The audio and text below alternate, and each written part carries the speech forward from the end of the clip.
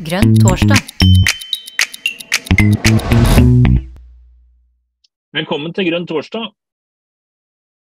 I dag sitter jeg, Jon Lurås, og Jonas Bolifa i eh, redaksjonen. Og vi er så heldige at vi har MDG Superstar og medlem av finanskomiteen, Lan Marie Berg, på besøk. Og Lan skal snakke litt om eh, det, vårt nye framlagte alternative statsbudsjett. Vet du hvorfor vi eh, har alternativt statsbudsjett, Jonas? Vet du det? Nei, Eller må vi spørre Lan? Uh, ja, det, jeg tror nok kanskje at Lan kan svare enda bedre enn uh, meg på det. Men uh, det er jo når det kommer til budsjettet at man faktisk får satt politikk ut i livet, da. Det er vel kanskje så Jeg tror kanskje jeg skal nøye meg med å si akkurat det. Mm. Skal vi høre hva fasiten er, da, hvis vi kan kalle det det, det Lan? Nei, men det er jo, for det første så er det jo veldig hyggelig å være her, da. Um, og, uh, og, det er jo akkurat som Jonas sier, det er jo det man prioriterer altså det er når, I budsjettet man ser hva partiene faktisk prioriterer uh, å løfte, og hva regjeringen prioriterer. Og så er jo vårt alternative statsbudsjett er jo vårt alternativ til regjeringens statsbudsjett. Vi prioriterer å jobbe ganske mye med det, både fordi at da viser vi fram hvordan vi vil implementere partiprogrammet vårt, politikken vår i praksis, men også uh, for å gi våre svar da, på utfordringene i vår tid. Og det som kanskje er litt så spesielt med dette alternative statsbudsjettet, er at verden har endra seg ganske dramatisk fra 26.2, eller egentlig det siste året, og til nå.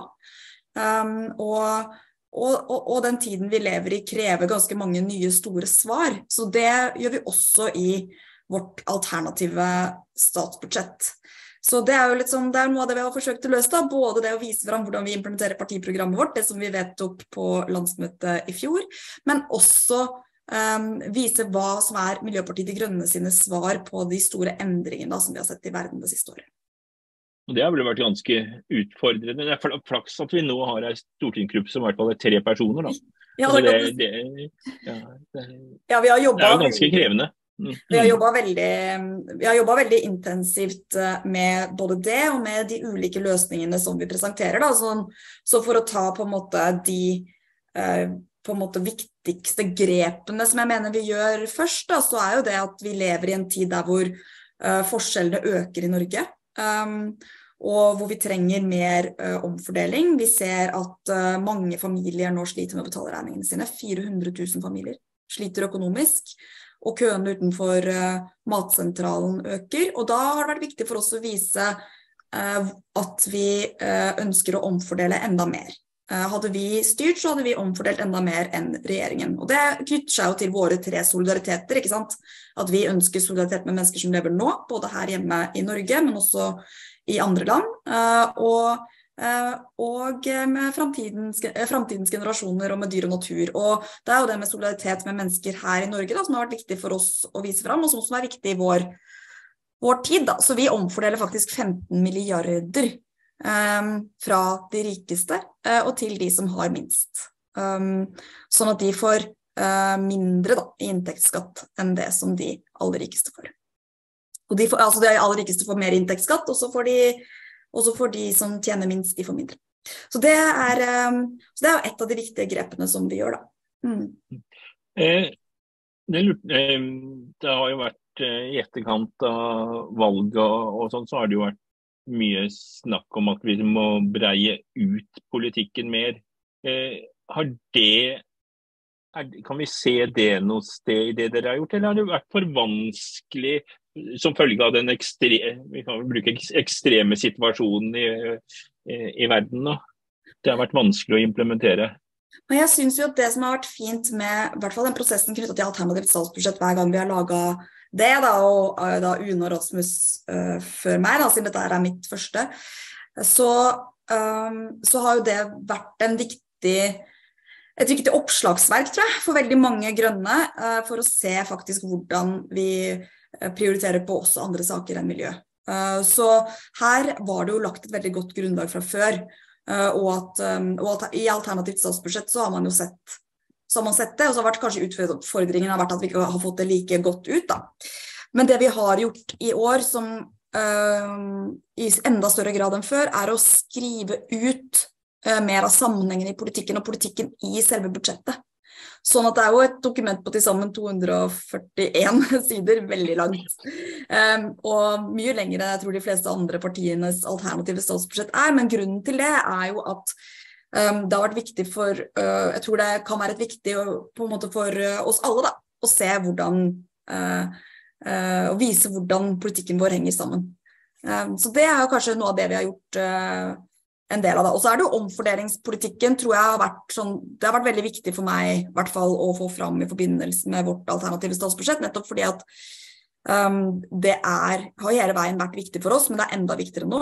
Um, og så syns jeg jo at vi også vise fram hvorfor god klima- og, og naturpolitikk og generell beredskap da, er en også en viktig del av Miljøpartiet De Grønnes politikk. Så vi gjør jo veldig mye for å vise det fram. Blant annet så møter vi også Så, så, vi, så, så vi, gjør det på flere felt, da, eh, for å si det sånn. Og så har vi jo um, mange felt som vi har prioritert veldig høyt også tidligere, f.eks. helsefeltet. Så viser vi hvordan vi, uh, hvordan vi nå uh, håndterer fastlegekrisen og løser den med mer bevilgninger til, um, til det, f.eks. Uh, så det er jo ett viktig punkt da for oss.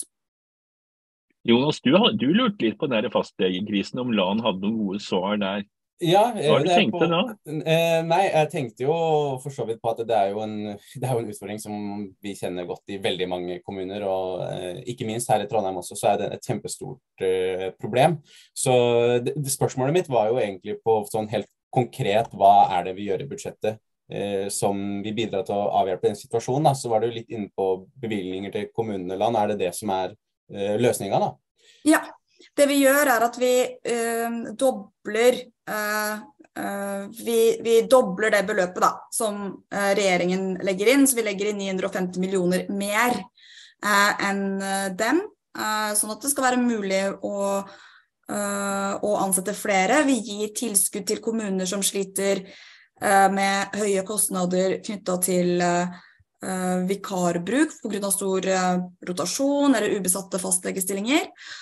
Også, så det er noe av det som noe av det som vi gjør da, på, for å stanse fastlegekrisen. Det dreier seg jo om at uh, vi trenger å få ansatt flere, annet, sånn, uh, sånn at ikke de som er uh, fastleger i dag, får for lange lister og for mye å gjøre.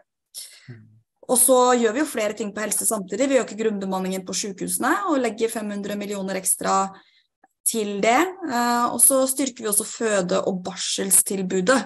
Eh, og gi flere utdanningsstillinger også til jordmødre, da, eh, med de sammen 160 millioner. Så det er ganske sånn stor satsing på, på helsefeltet. Og det er jo også god grønn politikk, fordi at vi ønsker å være i forkant. Og vi ønsker å håndtere situasjoner før, de, før, de, før, de, Også helsesituasjoner da, for folk da, før de blir veldig alvorlige. Og da må vi ha flere fastleger. Det er på en måte en viktig, det viktigste på en måte som vi kan gjøre for at folk skal kunne få hjelp fort. Og så gjør vi også et stort løft for psykisk helse. Så det er mange forskjellige ting da, som vi gjør for å, for å møte både fastlegekrisen og andre utfordringer i helsesystemet det er jo ofte utfordringer som man egentlig kun kan løse med større bevilgninger, altså med, med, mer ressurser. og Det er jo kanskje politikkens evige problem også. Eh, at eh, det blir aldri Jeg tror aldri vil bli nok, på en måte. Eh, så hvor jeg vil med det her, er på, på, på inntektssida. Altså, er det noe vi kutter i vårt budsjett sammenligna med eh, regjeringas budsjett som gir det økonomiske handlingsrommet? For Det også er jo litt eh, viktig og litt interessant. Ok, ja. uh, For det første på inntektsskatt så, eh, så, tar vi ikke inn noe mer enn regjeringen, men vi omfordeler bedre. Så det, er, så det, er, bedre for de som har minst, og så tar vi inn litt mer fra de som har mest. Så innfører vi arveavgift, og så innfører vi formue, en økt, altså økt formuesskatt og en sånn trinnskatt da, på, på formue. og så gjør vi en del grep på, på, utgiftssiden, både når det kommer til å kutte i unødvendige veiprosjekter, men legge mer penger på rassikring f.eks. Uh, og, og sånn, at, sånn, at, vi kan sikre de veiene som vi har. Um, og der, jo, der, kutter vi jo veldig mye. Og så trar vi jo inn mye penger fra ved at vi f.eks. ikke investerer i ny olje- og gassinfrastruktur, som staten bruker mye penger på. Så det er jo mange ting som vi kutter i, som, som, som regjeringen velger å bruke penger på. Og det er kanskje det som beskriver regjeringens budsjett best, det er vel at de de omfordeler litt, men de omfordeler ikke nok. Eh, de, legger, de bruker mye penger på eh, tiltak som vi mener ikke tar oss lenger inn i det grønne skiftet, men lenger fra det. De legger en stor skatt på fornybar, f.eks. For eksempel. Eh, på fornybarnæringen, vannkraft og, og vindkraft. Grunnrente på vind er vi for så vidt for, men vi er imot på en måte hvordan de har gjort det denne gangen. Fordi at man gir det tilbakevirkende kraft, og, og det kan svekke investeringer i f.eks. For ny fornybar energi framover i Norge. Og, og, det kutter vi. Vi kutter uh, den økte skatten på uh, vannkraft, og så, uh, og så, innfører vi en avgift på olja isteden. Så sånn sett så kan man si at vi, vi, tar ut mer fra oljefondet, men det er fordi vi putter mer inn i oljefondet gjennom en ny avgift. Men vi gjør, bruker ikke mer enn handlingsregelen, og inflasjonseffekten er den samme fordi vi kutter Vi legger en ny avgift på olja, men kutter nye skatter på fornybarnæringen. Da. Så, så, det er noen av de store grepene vi gjør, da, der vi mener at regjeringa de uh, tar oss lenger vekk fra det grønne skiftet, fordi de tar inn f.eks. flere skatter fra fornybarnæringen. Og så, og, så, uh, og så, fortsetter de da å gi særfordeler til olje. Du var inne på uh, svekke investeringer da i fornybarnæringa. Og hvis vi drar det over på næringslivet, da. Det har jo vært ganske store oppslag nå knytta til at eh, både at superrikinger eh, og nesten superrikinger syns at det er mye mer stas å bo i Sveits. Og NHO er ute og sier at det er mistillit. Og de var jo også noen undersøkelser. var det sånn at det var 75% eller noe sånt som hadde mistillit til regjeringas næringspolitikk. Hva, hva, tenker du da? Eller hva, hva, våre, har vi noen grep som kanskje eh, de ville akseptert bedre i næringslivet? Sånn at eh, vi, må, vi trenger jo jobber. altså også MDG er jo for at folk skal ha en jobb. ja.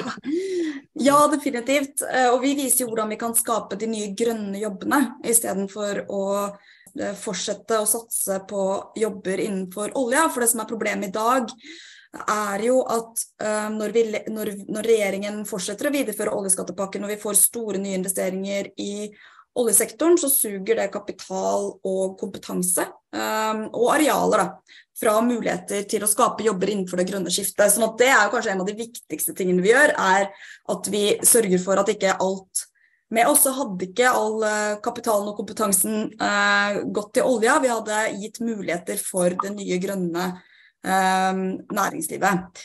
Eh, og så eh, har vi jo også tiltak f.eks. For, for å eh, for å sørge for da, at vi får opp de nye grønne næringene. Vi har, et, vi har fond både for å få mer havvind og for å f.eks. få flere, flere elfly. Og så Um, og så sørger vi jo for at det ikke er um, at, altså Det vi er kritiske til når det kommer til f.eks. vindkraftskatten, uh, er at her er det mange som har gjort store investeringer i vindkraftprosjekter på land. Uh, og så har man gjort det under noen uh, forutsetninger, um, der hvor man har forventa en inntjening. Men så ser de da at når det, nå de nye, den nye grunnrenteskatten på vind skal ha tilbakevirkende kraft, så vil man ikke få de, den, uh, de, den, uh, altså de vilkårene da, som man trodde man skulle få på de vindkraftparkene. Og jo, det er mange utenlandske investorer. 75% av investeringene på i f.eks. i i, vindkraft eller andre næringer i Norge som trenger store investeringer, er jo utenlandske investorer. Og da, og da, tør kanskje ikke de å investere hos oss en annen gang. Eh, og det er det som er noe av problemet. Da. Når vi f.eks. har lyst på mer havvind, og at vi skal få utenlandske investorer til å investere der, så blir de redde for å gjøre det for at de er redde for at vilkårene, rammevilkårene deres kommer til å endre seg. Ja, også, du var vel så vidt innom det, men eh, det er ikke det, det er solidaritetsfondet med et tall som er så stort at ikke det er mulig å uttale. Det som da skal bruke våre, ekstra, våre ekstrainntekter i disse krisetider. Hva skal vi bruke det til? Ja, ikke sant. Nei, det er jo et av de andre store grepene som vi gjør, er jo nettopp at vi oppretter et solidaritetsfond, et nytt solidaritetsfond. Og Det som har skjedd det siste um, året, er jo at uh, prisene på eh, gass spesielt har økt uh, kraftig fordi Russland driver en energikrig mot Europa. Da får vi, fordi at vi skattlegger jo oljenæringen med 78% og så går de pengene inn på vårt oljefond. Um, og det vi ser, er jo at uh, på oljefondet så beregner nå staten at vi får inn 1900 milliarder ekstra uh, som følge av krigen eh, i Ukraina eh, og de høye gassprisene, som vi ellers ikke hadde fått inn. og Det mener jo vi at er krigsprofitt. og Det er ikke, det er ikke for å det, altså det, det, oppfattes jo som et veldig hardt ord, men for meg så er det mer en beskrivelse av situasjonen. At ja, det er krig i Europa. Det betyr at vi tjener mye penger som vi ellers ikke hadde tjent. De pengene tilhører ikke oss alene, de tilhører kanskje først og fremst Ukraina, som nå blir bombet sønder og sammen Eh, vil ha store behov for penger til gjenoppbygging etter krigen og har store humanitære behov nå. Um, der beregner jo Verdensbanken at det vil koste ca. Uh, 3500 milliarder kroner å bygge opp Ukraina igjen. Um, så vi mener at en del av solidaritetsfondet skal gå til det. Uh, og så mener vi at fordi det er europeiske husholdninger i stor grad som betaler inn de ekstra pengene som vi får inn på oljefondet, så bør en del av pengene også uh, gå uh, til f.eks. å etablere ny fornybar energi i Europa. De ønsker jo nå å så fort som mulig komme seg ut av den avhengighetssituasjonen som de har hatt i russisk gass, um, og ønsker å eskalere og framskynde etableringen av fornybar energi. Uh, det kan vi være med å investere i gjennom dette fondet, f.eks. Og og eh, det siste er jo at det er veldig mange fattige land nå som rammes dobbelt av de høye matvare- og energiprisene. Eh, fordi dette her henger jo, henger jo sammen. Eh, og, og, mange av de som rammes hardest nå, er jo de som er dårligst stilt, som ikke har de systemene som vi har for å fange opp de som faller utenfor, som allerede sliter med klimaendringer. Um, og nå opplever da høye matvare- og energipriser i tillegg. Så Det var bl.a. noe som Pakistans ambassadør tok opp med meg da jeg møtte ham for noen måneder tilbake. Det var jo nettopp at um, ja, nei, vi, nå er jo en tredjedel av landet under vann, det er store humanitære behov. Uh, de kommer til å forverre seg, for det er jo etter eller det er jo liksom e, etter en stund at de store liksom, sykdomsframbruddene kan komme med vannbårne sykdommer og den type ting. Um, men i tillegg så har de mista store deler av kornavlingen sin. Og de, de opplever også høyere matvare og um, energipriser som gjør det enda vanskeligere for dem. Så de blir på en måte Pakistan kan du da si ble minst trippelt ramma da. Og der er det også veldig stor behov. Så det vi vet sånn humanitært nå uh, i verden, er at det er enormt store bistandsbehov, uh, men kun rundt 39 av de behovene som er meldt inn i, til FN, de blir dekket. Um, så her sitter da, sant, På Afrikas Horn så har du mange som er rammet av tørke og sult. I Pakistan så har du da nå mange som mangler et hjem. Uh, sikkert store utfordringer med tiden etter, uh, etter flommen. Uh, og utfordringer framover med fattigdom. Og, og det, det har vi et ansvar for å være med på å løse, og vi har muligheten. Eh, så vi vet jo at, så det er det vi har tenkt, et slags Marshall-fond Marshall eh, fra, vi, hvor vi kan bruke de ekstraordinære inntektene. Så er det mange som bare så, ja, det bruker pensjonsfondet, da. Det er jo våre det er jo uh, det som skulle gå til framtidens generasjoner. Men noe av utfordringen her er jo at Eller på en måte noe av bildet her er at dette er penger vi ikke forventa å tjene. Vi får, jo, vi får jo normalt sett rundt 300 milliarder inn på fondet årlig. Det tar vi ikke ut, men vi tar jo ut, uh, vi tar ut uh, det som, kom, som, er helt ekstraordinært. Du sier litt om Ja, nei, Jon først, kanskje. Ja, tallet var jo så stort at verken Lan eller jeg greide å si det. ja, 1900 milliarder, ja. Uh, ja. Det, er jo, det, er jo, helt sånn svimlende, da. Men så veit vi jo da bl.a. at når det er 3500 milliarder det vil koste å bygge opp Ukraina igjen, sånn som de mm. beregner det nå, da, så, uh, så, så ser vi jo at behovene også er helt enorme. Men her er det snakk om, det snakk om her et uh, fordi er, Du nevner jo både humanitære saker, men også var du litt inne på det med investeringer i fornybar energi, f.eks. Uh, som dette fondet kan brukes til. Da. Så um, jeg bare lurer på, Har du noen tanker om er dette et politisk styrt Norges regjering sitt fond, eller er det på en måte et oljefondet light som, som skal styre seg sjøl, på en måte, eh, og være uavhengig, på en måte? Det, har vi noen tanker om det? Ja, Det er jo et veldig spennende spørsmål. Da. Vi, har ikke, vi har ikke på en måte bestemt oss for hvordan, akkurat hvordan innretningen skal være. Um, men vi ønsker, ønsker, i første omgang å på en måte få de andre partiene med på prinsippet. Da. Um, og det som skjedde, Vi fremmet jo dette for første gang i vår, så har vi fremmet det på nytt i høst. For man har lov til å liksom fremme det, fremme det eh, eh, en gang per eh, sesjon, da, på en måte. Så da, eh, så da, I fjor så stemte, eller i vår da, så stemte faktisk KrF og Venstre med oss. Og i spørretimen med Jonas Gahr Støre nå på Stortinget denne uken her, så var Venstre veldig tydelig overfor Jonas Gahr Støre. Så her begynner det å skje noe, eh, også i norsk politikk. Internasjonalt så har det jo vært snakk om et sånn type solidaritetsfond flere ganger, både i EU-sammenheng, eh, hvor det har vært nevnt som noe som de egentlig har forventa, at, eh, at de som tjener mye penger på olje og gass nå burde være med å dele. Og så har jo FNs generalsekretær, nå sist på klimaforhandlingene, som nå er en veldig sluttspurt mens vi prater, um, um, nevnte jo da første uken i forhandlingene at han mente at uh, oljeproduserende land burde bidra mer til fattige land uh, som sliter med klimaendringer, fordi de får så mye ekstraordinære inntekter nå. Um, og så har vi jo Norge vært omtalt i aviser, aviser da, som Financial Times, uh, som som, som, sier at dette her på en måte, dette her henger jo ikke, dette kan jo ikke være helt riktig da, at noen skal tjene så mye penger og ikke dele på det.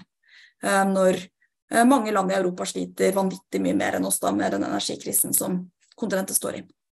Så du kan si at norsk politikk, vi, vi er liksom en del skvetter litt når de ser tallet og, og, og, sånn her i Norge, men internasjonalt så har dette her vært snakk om uh, lenge, og det er i ferd med å skade Norges omdømme at vi ikke velger å gjøre mer, da. Nei, det er, en, det, er en, det er, jo en, sak som i hvert fall sånn eh, jeg opplever det her hjemme, blir eh, ofte satt liksom opp mot det å skulle hjelpe folk i Norge. Eh, og det er jo den eh, Der er det jo en, kanskje en kommunikasjonsutfordring da, på å få det fram at det er ikke nødvendigvis det det, nødvendigvis det det, betyr. For det ligger jo inne i statsbudsjettet her ganske mye for å eh, hjelpe på den strømpriskrisa som vi har her også. Ja, ikke sant? Eh, og jeg lurer på om du kan si litt om, om vår løsning på det, da. Eh, for de som eventuelt hører på og, og, og fortsatt har den motsetninga i hodet. Ja, for, da, for, uh, for, det første skal jeg jo si det som jeg har sagt tidligere også, at vi omfordeler bedre enn regjeringen. Så vi tar 15 milliarder fra de som tjener over 800 000, og så gir vi det til de som tjener under, da, og spesielt de som tjener uh, under 500 000. Så det er på en måte én viktig ting. Uh, vi mener jo at det ikke er en Det er jo ikke en motsetning mellom å hjelpe folk der ute og hjelpe folk her hjemme. Men det blir ofte satt opp som en motsetning, og det mener vi er helt feil. Da. Så det er jo ett grep vi gjør som regjeringen kunne ha gjort.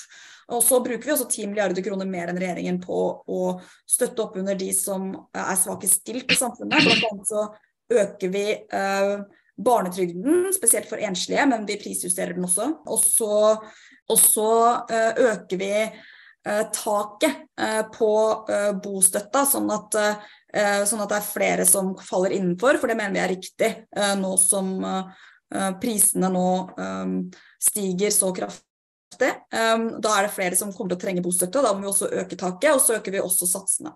Så, um, så det er noen av de tingene som vi gjør, da. Men på strøm, uh, for det eh, viser vi jo også i budsjettet vårt at f.eks. en familie på fire ville jo fått 40 000 kroner uh, med vår strømbonus.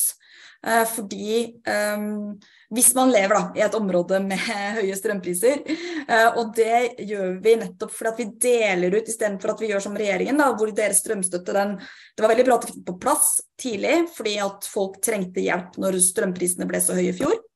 Men vi mener at de ikke har brukt tiden da, fram til nå eh, til å lage en ordning som både bidrar til å faktisk løse utfordringene, gjøre det, eh, gjøre det eh, mest mulig lønnsomt å spare energi og investere i energisparetiltak, men også at, eh, bør, at deres strømstøtteordning gir jo dobbelt så mye penger til de med de 10% rikeste som de 10 fattigste. da.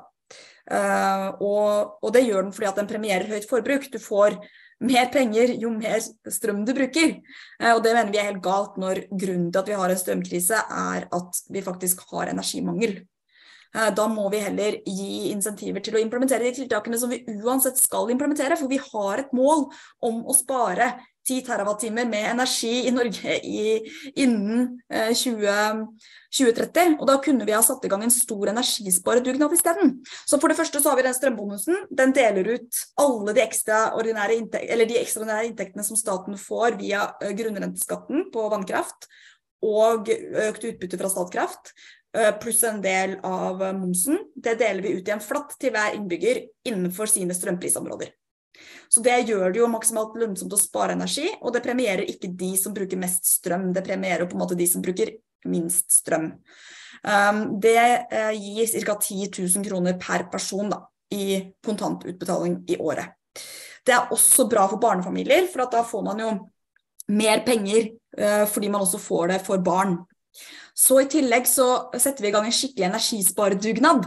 Så vi gir over 3 milliarder kroner til Enova Eh, for at eh, det skal bli enklere å spare energi. Og vi har sagt at vi vil at man skal, at man skal gi 50% av investeringskostnaden eh, når man f.eks.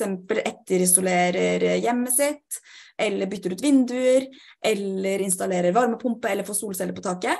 Og da vil vi jo kunne bidra til at vi faktisk får den energispareeffekten, da. Som vi faktisk, faktisk ønsker oss, da. Eh, så det er jo noe av det vi gjør. I tillegg så, eh, så mener vi at det skal være lett for alle å spare energi. Eh, og veldig mange nå har brukt opp sparepengene sine. Det er ikke sånn at man har de pengene å investere i å etterisolere huset. Det er kjempedyrt. Så da, selv med støtte, så da gir vi, da, da, da gir vi Eh, mer penger til Husbanken, sånn at de kan hjelpe de som er vanskeligst stilt. Og i tillegg så uh, mener vi at alle skal kunne få rentefrie lån fra Husbanken hvis de gjennomfører uh, denne type tiltak på huset sitt. Og da tror vi at det både kan, det kan bli sånn derre uh, på en måte en, en, effekt der hvor både håndverkere og, og folk flest da, Eh, får implementert energisparetiltak på en måte som ikke gjør at de vil ha høyere regninger enn de ellers ville hatt, kanskje sannsynligvis lavere regninger, selv om de eventuelt måtte ta opp et lån da, eh, for å få det til. Så Det er noen av de tiltakene som vi gjør, da, som vi mener er mye mer treffsikre enn regjeringens. Og der hvor vi også har støtte fra bl.a.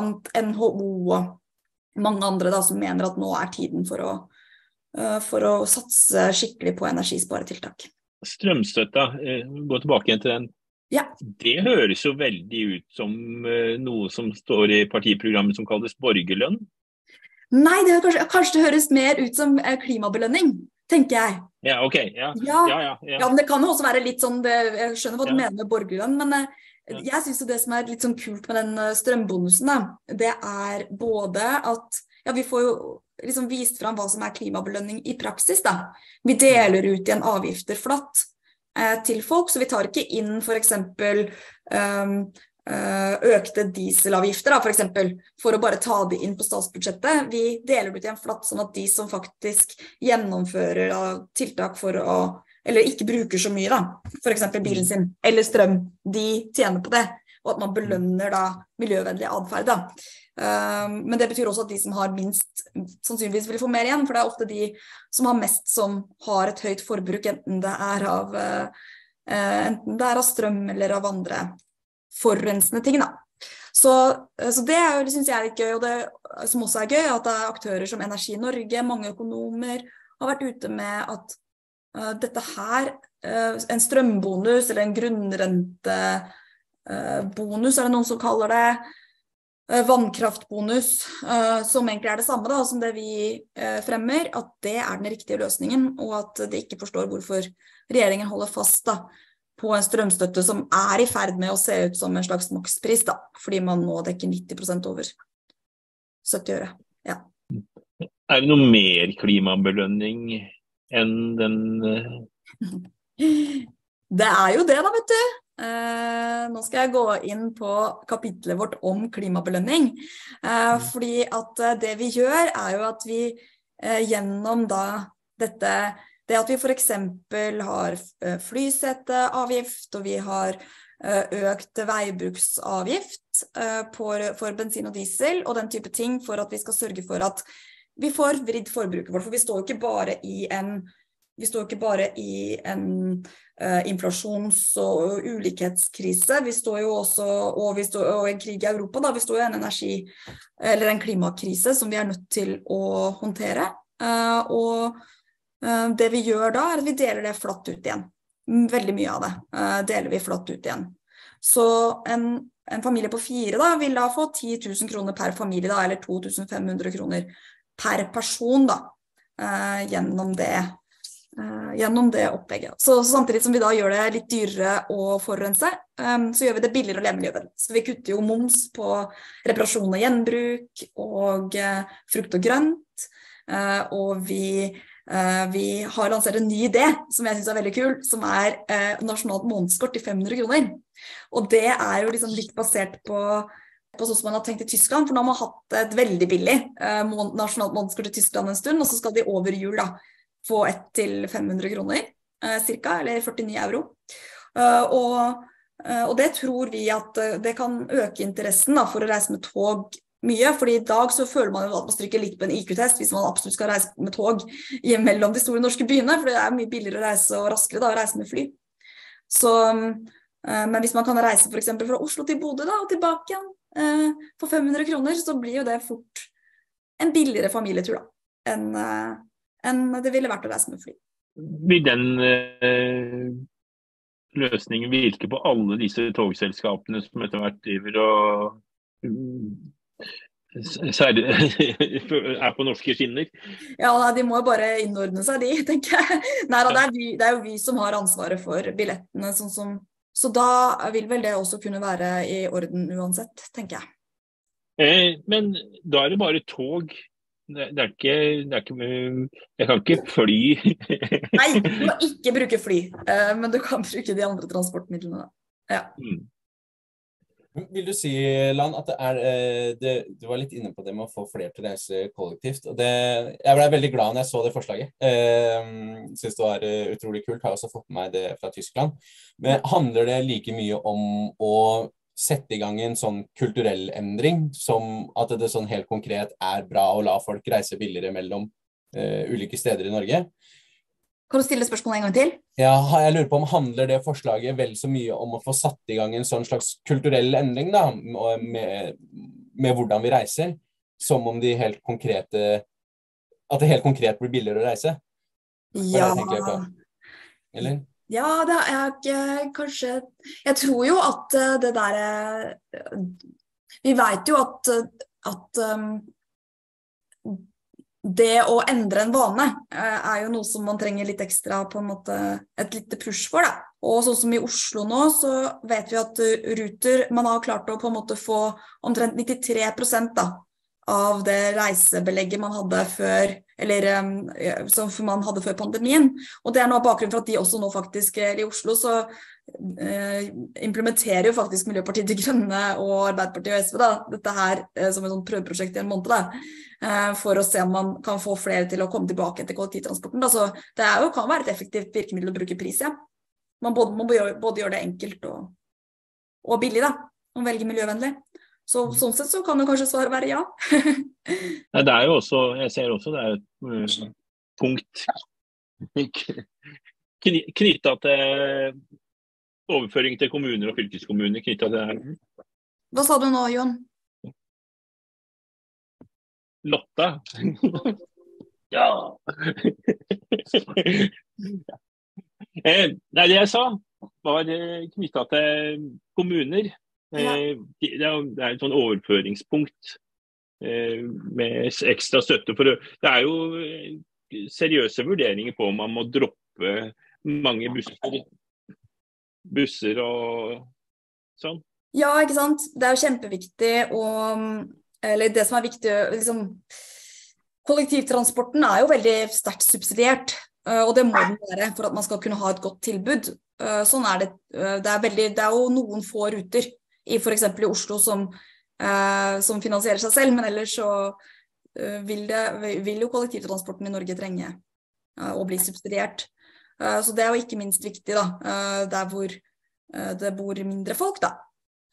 Og sørge for at vi kan opprettholde et godt tilbud. Og så er det jo sånn også da for Miljøpartiet De Grønne, og det er jo eh, vi alle veldig enige om, tror jeg, her, det er jo at vi mener jo ikke at alle skal reise med kollektivt hele tiden, vi mener at det skal være et godt kollektivtilbud. Eh, og så er det jo sånn at eh, eh, veldig mange steder i Norge så er folk avhengig av bilen, men da må vi gjøre det lettere å ha elbil. Så eh, det var jo veldig kult når jeg var oppe i Alta eh, her for noen måneder siden. Så sist gang jeg var i Alta, så var det ikke en eneste hurtiglader i Finnmark. Men siden det så har de nå bygd ut et helt eh, ladenett da, um, der oppe som gjør at det skal være lettere da, for folk å ha elbil. Um, og kunne lade bilen sin um, raskt. Og så vet vi også at uh, det som er lettere da, mange steder der hvor man bor i uh, eh, i enebolig eller rekkehus eller på en måte har parkering på egen tomt, så er det jo lettere f.eks. å få lada bilen hjemme da, enn det er i mange av blokkene eh, i Oslo. Så det er jo sånn sett eh, er det jo eh, lettere nå å skaffe seg elbil. Og det vi også gjør i budsjettet, da, er at vi reverserer da det at regjeringen ønsket å legge eh, moms på den prisen av elbilen da, som er over 500 000. Det mener vi at det er feil, når regjeringen da samtidig, og spesielt når regjeringen samtidig da reduserer kostnaden ved å på en måte kjøre eller på, på diesel da, eh, for de som kjører med dieselbil, så blir det på en måte helt feil insentiver da, å gjøre det dyrere å velge miljøvennlig og billigere å eh, velge fossilt. Så vi eh, gjør det motsatt. Og det er jo også sånn, en viktig prioritering, da, at det skal være billig fortsatt å kjøpe elbil. Og spesielt de bilene over 500 000 er jo det som veldig mange trenger hvis man bor i distriktene. Trenger firehjulstrekk eller trenger en god familiebil. Mm. Jeg har jo litt inntrykk av at noen uh, har inntrykk av at uh, vi, hvis vi bruker begrepet do Donald-penger, ja du at det, Men det er jo sånn at de tallene som vi bruker, det er jo veldig mye tall som da er regna ut av Finansdepartementet for oss. Så, de, Finansdepartementet regner også da ut tallene for regjeringa og partier, mange av de andre partiene også i sine alternative statsbudsjetter. Så det er ikke noen tall vi finner på. Vi har et spørsmål knytta til et eller annet forslag, og så eh, tolker vi det politisk ut fra det, ikke sant? Mm. Ja, det stemmer. Sånn at, um, så vi stiller jo mange, mange, mange spørsmål. Og partiene stiller mange spørsmål, og så svarer Finansdepartementet ut da, hva, eh, hvordan f.eks. skatteopplegget vil bli hvis man gjør sånn og sånn, f.eks. Eller hva et, dette tiltaket vil koste. Og så legger man inn det man mener da um, er riktig.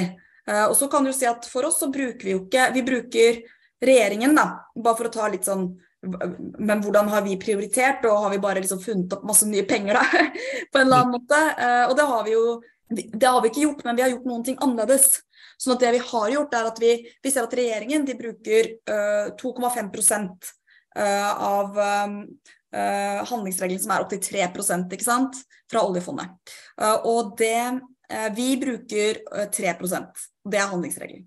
Um, mm. Men vi bruker ikke, men vårt budsjett er ikke mer inflasjonsdrivende enn regjeringen sitt. fordi vi vi tar ut noe mer fra oljefondet, men vi kutter også uh, de fornybar Vi kutter også skattene på fornybarnæringen og legger på en ny avgift på olja isteden. Så det er på en måte likt. Og så, um, og så, så bruker vi også noe mer penger fra oljefondet til å oppfylle bistandsprosenten. Um, fordi det regjeringen la fram, var jo et budsjett som for første gang på 50 år ikke oppfylte bistandsprosenten. Det betyr at um, Vi skal gi da 1% av det som er vår bruttonasjonalinntekt hvert år til internasjonal bistand til fattige land. Det har vært Eh, et prinsipp i norsk politikk da veldig lenge. Eh, men denne gangen så mener regjeringen at vi tjener for mye penger til å kunne eh, nå bistandsprosenten. Og det mener jo vi er helt bakvendt. Sånn kan det ikke være. Så vi har vært opptatt av å oppfylle bistandsprosenten, men det har vi gjort ved å hente penger fra oljefondet. Og det gjør vi noe i tillegg. Men det er ikke inflasjonsdrivende i Norge. Fordi de pengene brukes jo i et annet land. Så det er det som har vært noe av utfordringen med budsjettet, er å ikke bruke så mye penger hjemme, til tross for de utfordringene vi har hjemme, til at man driver opp inflasjonen, så bank, eh, sentralbanken må sette opp renta, og det blir jo enda verre for spesielt de som har dårlig råd kanskje store lån. Men vi, vi, bruker ikke mer penger enn regjeringen. Vi bare gjør det litt annerledes, fordi den avgiften vi legger på olja, går inn på oljefondet, og så tar vi penger ut igjen derfra. Mens de legger en avgift rett på fornybar, eller legger mer skatt på fornybarnæringen, og det går rett inn i det ordinære statsbudsjettet. Eh, så det er kanskje den store forskjellen, da. Og så føles det jo litt ut, og det vi gjør i tillegg, er jo selvfølgelig å ta ut de ekstra pengene fra oljefondet som vi får ekstraordinært inn i vårt uh, solidaritetsfond. da. Uh, og det, det, er jo veldig mye penger, og annerledes enn det de andre partiene gjør. I forbindelse med det her med skatt og finansiering og inndekning og sånt, og så er det en ting som alltid dukker opp når det er alternativ statsbudsjettsesong, og det er jo overskriftene hvor det heter uh, skattebombe, eller 15 milliarder mer i skatter, eller 70 milliarder mer i skatter hvis man eh, ser på Rødt sitt budsjett. Mm. Eh, og en ting som jeg har tenkt på i den forbindelse, er jo at eh, de overskriftene sier jo egentlig ikke så veldig mye. Nå har du vært inne på hvordan vi omfordeler eh, ganske mye i vårt budsjett. Men hvordan er det eh, for deg som sitter og jobber med det her, da, å se media legger fram f.eks. at MDG vil øke skattene med 15 milliarder, og så kommer de kanskje ikke tydelig fram for folk som tjener under 800 000, da, så vil det ikke bli noen økte skatter. ikke sant? Men man ser nå kommer det masse økte skatter, og så tenker kanskje folk at det, eh, det rammer meg, da, på en måte. Eh, og litt det samme eh, har jeg tenkt på med den arveavgiften, fordi, eller arveskatt, som man kanskje heller skal kalle det. fordi hvordan har vi innretta den, egentlig? Det, det syns jeg er litt interessant. Det er jo en uh, ting som får ofte veldig mye negativ oppmerksomhet, fordi ja, skal man ikke ha råd til å arve? Uh, men det er jo kanskje noe man kan løse med innretninga også? Ja, ikke sant. Det der er sånn Det er jo litt teit, det der. fordi det blir sånn Å ja, skal du ha skatt på, uh, på død, liksom? Eh, det vi uh, mener, er jo at det er jo arv, de som, forskjellen mellom de som arver eller de som ikke gjør det, som ofte er den store driveren til ulikhet i dag. da. Um, at det er noen som har mulighet til å arve veldig mye penger, og andre som ikke har det. Um, og, og, men for oss så legger vi ikke inn en veldig høy Vi ønsker ikke at arveavgiften eller arveskatten da, skal være noe som skal generelt sett ramme alle. Vi eh, legger et bunnfradrag på 7 eh, millioner kroner, og så er det eh, 5% skatt på arv og gave mellom 7 og 20 millioner kroner, og 10% mellom 20 og 100, og så 5% på arv og gaver over 100 millioner. Og det mener jeg at det er rimelig i en situasjon der hvor noen i samfunnet får veldig mye mer, eh, veldig mye penger i arv, så mener jeg at det er rimelig at vi tar inn noe uh, av det til fellesskapet. Men det ville jo vært 15 millioner da av 100 millioner, hvis man arva 100 millioner. Um, uh, og på inntektsskatten så er det helt riktig som du sier, altså tjener man under 800 000, eller mellom 700 000 000, så får man um, 1300 kroner mindre i skatt selv om det da sto i Dagbladet at det var en skattebombe da, på 15 milliarder. Um, og så hvis man tjener da mellom 450 og 500 000, så får man 5700 kroner mindre i skatt. Uh, så her er det jo Det er jo omfordeling i praksis. Uh, og jeg la merke til i Ja, nei, så jeg tror, så jeg tror jo på en måte Vi så jo at regjeringen gjorde noe i sitt uh, budsjettforslag, men vi ønsker da altså å gjøre mer. Fordi vi mener at det hjelper ikke bare å flikke på de systemene vi nå har. Eh, hvis vi skal redusere forskjellene, da må vi faktisk tørre å gjøre noen eh, større grep. Da. Så bl.a. på arveavgift og på bedre omfordeling på inntektsskatten, men også på strømbonus og klimabelønning. Da, for å både eh, gjøre både omfordele bedre, men også bidra til at vi får et grønnere og mer rettferdig samfunn.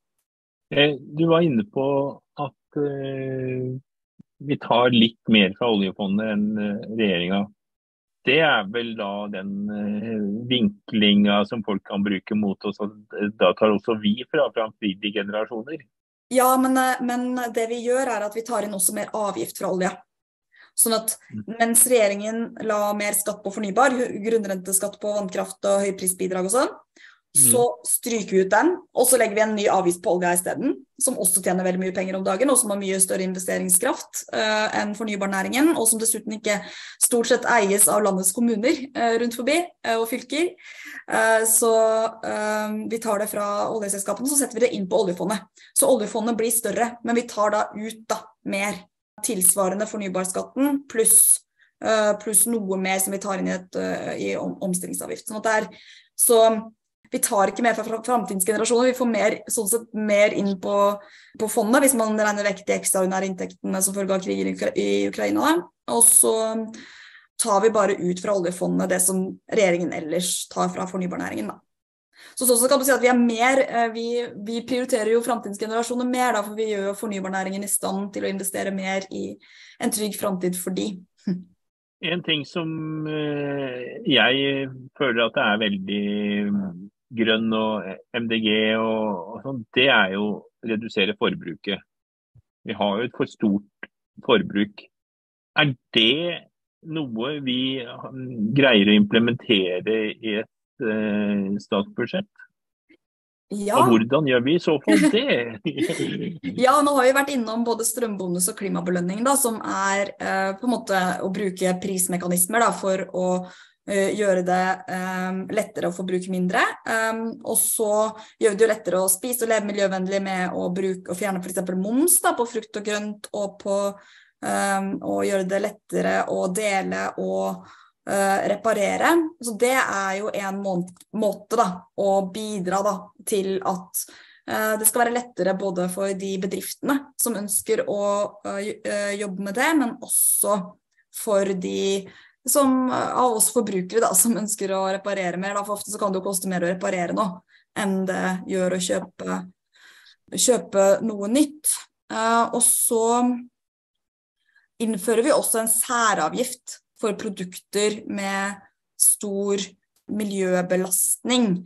Så det er jo en av de, uh, en av de tingene som som vi gjør. Og så har vi et kapittel da, som, um, som heter 'Verdiskaping i en sirkulær økonomi'. Eh, og det handler jo nettopp om det, da. Å sørge for at, ikke, at ikke forbruket vårt skal basere seg på hele tiden ta ut nye ressurser eh, og, for, og, og jomfruelige materialer, da, men at vi skal sørge for at eh, vi klarer å resirkulere det og bruke ressursene om igjen. Så det er noe av det som eh, vi viser fram der, da. Eh, og for oss så handler det bl.a. om eh, Det handler både om avgifter, men også om regelverk. ikke sant? Sånn at det vi jobber for bl.a. når det kommer til klesindustrien og, og andre sektorer, er å sørge for at man får et regelverk som gjør at det ikke lønner seg å produsere masse, og, så, og at butikkene bare dumper de klærne de klærne en ørken et eller annet sted, men at vi sørger for at man heller da får eh, at vi, får, eh, at vi, at vi, at vi sørger for at materialene som da blir produsert i, er gode, er mulig å resirkulere. At vi får insentiver da, for å få en sånn sirkulær økonomi. Så det er noe av det som vi viser fram her også, da. Nei, for det er jo en Hvis vi bruker den derre World Overshoot Day, altså overforbruksdagen, så er jo den for Norge en eller annen gang i april. altså da, Norge bruker jo da ca. tilsvarende tre jordkloder hvert år. Så det er jo et ekstremt eh, reduksjon vi må til, da. Ja, og for oss er det jo viktig å understreke at det først og fremst er et politisk ansvar å få det til. Mm. Sånn at det er klart at eh, Men veldig mye av eh, altså Oljenæringen har det vært avslørt har brukt, har brukt veldig mye penger på å prøve å overbevise oss alle om at det er hver enkelt av oss som har ansvar for å løse klimakrisen og finne ut hvordan vi skal redusere forbruket og ta vårt eh, karbonfotavtrykk. Uh, og, og, og, det er noe uh, det er noe bra at folk er bevisste på det, men det aller viktigste er at vi som politikere skal gjøre det lettest mulig. Da. Å velge å bruke kjøpe, hvis man kjøper nytt, kjøpe materialer som er mulig å resirkulere, og, og, at det skal være mulig å reparere for en relativt billig penge. Um, og at vi heller skal oppmuntre da, og, og gi insentiver til f.eks. deleløsninger. Da. Men i dag så gjør man ikke det. Man, man, for eksempel, altså, hvis jeg skal gå og kjøpe meg noe nytt på Fretex, så må jeg betale moms. Men, men, men kostnaden for Fretex på på en måte sortere, eh, prise individuelt varene, sette ut i butikken og få det til å se greit ut og sånt, er mye høyere enn det er for de store kjedene, da, som masseproduserer klær i Kina f.eks. Mm. Ja, Jonas, du er jo opptatt av lokale ting. Er det, er det, skjer det noe i Trondheim nå som Nei, altså det, med, budsjett, det, det, med, det med sirkulærøkonomi er jo et, uh, er jo et tema i Forhåpentligvis i alle kommuner. Det er jo et, et stort uh, et stort eh, tema i, i Trondheim i hvert fall. Det gjøres jo ganske eh, solid innsats fra de grønne i bystyret her. Mm. Uh, så det eh, Hvordan kan vi bruke det statsbudsjettet her, da? De som, vi som sitter ute i, i kommunene, til å, vi, til å vise fram eh, de løsningene som vi også går for, eh, går for, nasjonalt. Jeg vet ikke om du har noen oppfordring til grønne kommunepolitikere rundt omkring i land og land på hvordan å å bruke budsjettet. For det kan jo være en kilde til at vi får enda større troverdighet når vi faktisk legger fram et så omfattende dokument som viser sånn blir det hvis vi bestemmer, for å si det på den måten. Ja, nei, i mange byer da, eh, så er jo noe av det som er viktig å få på plass, og som um, uh, lokalpolitikerne i Oslo nå har fått på plass, da, er jo eh, karbonfangst på avfallsforbrenningsanlegget. Vi legger jo inn at eh, vi vil at det skal være Vi legger inn mer penger til å få på plass karbonfangst på avfallsforbrenningen rundt forbi, uh, og uh, i tillegg at det skal være at skal, det skal være forbudt å ikke ha det fra og med 2030. Så det vil jo gi insentiver for å få det på plass, f.eks. Uh, og så er jo det vi gjør, er jo å på en måte endre de nasjonale retningslinjene da, og nasjonale rammene, for at det skal være lettere for Eh, kommunene å sørge for at det blir f.eks. lettere å etablere reparatører og andre som har lyst til å hjelpe folk med, med, å reparere tingene sine eller å kjøpe brukt. Så det er jo også en del av det. Uh, og så gir vi veldig mye mer penger til kollektivtransporten, både til investeringer og til å sørge for at det blir billigere å reise kollektivt. Da. Så um, jeg tror at bl.a. da den Eh, det nasjonale månedskortet kan bli er, jeg syns det er en bedre politikk da, enn det å redusere billettprisene med 20 eh, Og så syns jeg at eh, Og så tror jeg det er lettere å kommunisere. Så Det er jo noen av de tingene man kan trekke fram da, når man sliter med å få kommuneøkonomien til å gå opp. For det har jeg også opplevd som politiker i Oslo. Så jeg har også opplevd det. At det er jo vanskelig for en kommune eller et fylke å få økonomien til å gå opp og få gjort alt det man ønsker seg. Men her er i hvert fall skal så kan man vise til at men vi gjør dette nasjonalt, da, og at det er statens oppgave også å bidra til bedre rammer. For at kommunepolitikerne har bare de virkemidlene og de rammene man har. Um, og så gir vi også kommunene bedre virkemidler da, på, på klima og, og, natur. Da. Vi vil jo etablere arealregnskap um, og sørge for at det blir lettere for um, lettere å kunne på en måte følge med på det uh, i, i kommunene. Vi ønsker å og sørge for at f.eks. alle kommuner får lov til å kreve at eh, byggeplassene er nullutslipp. Istedenfor at det er sånn som nå, hvor eh, Oslo og staten driver og krangler om man skal få lov, til, uh, få lov til det. Så det er jo noen av de virkemidlene som vi vet at kommunene trenger, da, uh, som vi ønsker å gi dem. Så det er det også bare å slå opp i. Da. Det finnes en uh, to-tre sider bak der som heter verbaler, eller ting vi foreslår, da, regelendringer og sånn, som det går an å slå opp i. Ja. Og det alternative statsbudsjettet finner vi jo da på mdg.no, og, og søker det opp der. Så der ligger både det siste og de tidligere åra. Vi driver jo nå skal runde av land, men det å, at vi bruker så mye energi, bruker så mye tid da, på å lage et, et stort og omfattende alternativt statsbudsjett, eh, er det med på å øke vår troverdighet hos de andre partiene? Jeg, jeg, håper jo det. Eller vi viser jo veldig fram. Vi er jo veldig ærlige og flinke da, uh, i vårt alternative statsbudsjett. Vi viser veldig tydelig hvordan vi gjør ting. Uh, og det, uh, så jeg tenker at Og det kan jo både ha negative og positive effekter for oss, holdt jeg på å si. Sånn, vi kan jo risikere at folk stjeler politikken vår, på en måte, når vi viser så tydelig hva vi gjør. det er vel greit? Hva? Ja, det, det, Det er greit. greit. Ja, ja. Jeg er enig med deg. Eh, men på den andre siden så, eh, så, så ja, det er for det første det, da. Det er jo helt fint hvis de har lyst til å på en måte rappe ideene våre. Eh, men men så tenker jeg vel at det er mest av alt et, et verktøy for, for hele partiet, da. Til å kunne se politikken vår. Og så tror jeg jo at så kommer det litt an på, sånn som nå, da, når vi på en måte blir stående litt alene per nå og forklare hvorfor vi vil putte alle de ekstraordinære inntektene fra olje og gass inn på et solidaritetsfond, så tror jeg at det bidrar til å på en måte litt Da må vi kjempe litt da, for å få den eh, respekten i andre enden, da, fordi at de andre syns at vi eh, på en måte går for langt da, i én retning, og at det er så langt utenfor den eh, politiske debatten som vi har eh, i Norge. Eh, men ikke internasjonalt, da, som vi var inne på. Eh, og det samme med at når vi stryker fornybarskattene og legger en ny avgift på olja og derfor tar ut mer oljepenger, så blir folk litt sånn Ja, men MDG er jo ikke seriøse. Men vi er jo det. Vi bare gjør ting annerledes, og vi anerkjenner at vi er nødt til å gjøre eh, store, nye grep, da, både for å håndtere klima- og naturkrisen, men også Mhm. for å håndtere de økende forskjellene da, både i Norge og verden. Og at vår tid trenger større grep enn bare det som er per nå innenfor den norske politiske liksom, Det som er god på en måte den, det området vi diskuterer innenfor, da, ofte eh, blant partiene.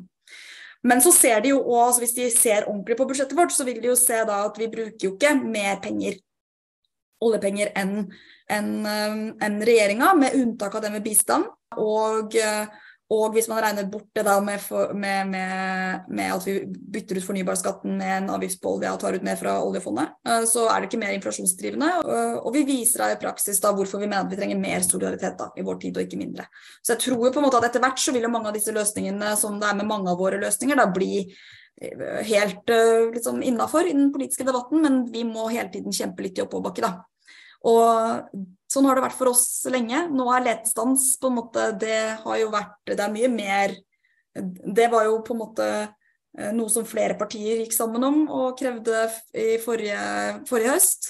Eh, Sånn har det ikke vært eh, tidligere. Da har vi stått alene med det, og jeg tror også at vi kan se det samme på solidaritetsfond da, for eksempel, etter hvert. Da. For vi tror det internasjonale presset kommer til å bli for stort. Vi kan ikke sitte alene og på pengesekken når landene rundt oss sliter. Nei, det kan vi ikke. Så får vi se hvor dette bærer. Så får vi jo håpe at vi får no, noen gjennomslag på dette på noen av punktene her. Eh, Vi kan nok eh, det, må, det det er vel mye arbeid på Stortinget for å få, få gjennomslag, og så kanskje noen av de går vår vei. Ja, jeg vet ikke. Nå er det jo sånn at alle, i, i budsjettdebatten så stemmer alle sitt eget opplegg, på en måte. Mm.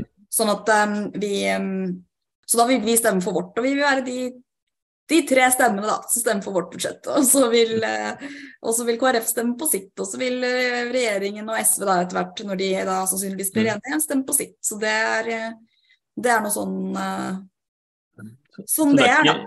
ja, så det er ikke mulig å få gjennom enkeltpunkter her. Nei. Så det er litt annerledes, da. Enn det Nei, ja, for det er en pakke Mm. Mm. Søren også. Men vi har jo fremma f.eks. ideen om solidaritetsfond har vi fremma som egen sak i Stortinget, og vi kan jo fremme våre egne representantforslag, da.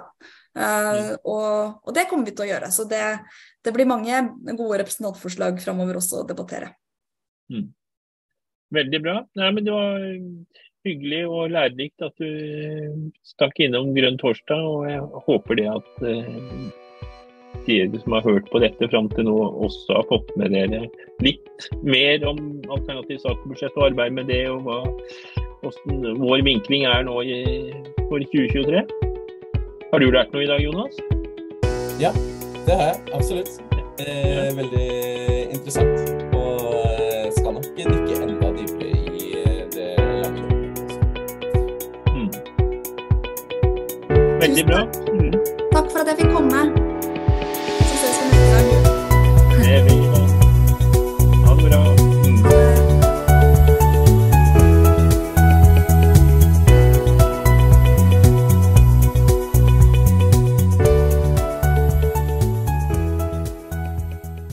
Kos. Grønn torsdag.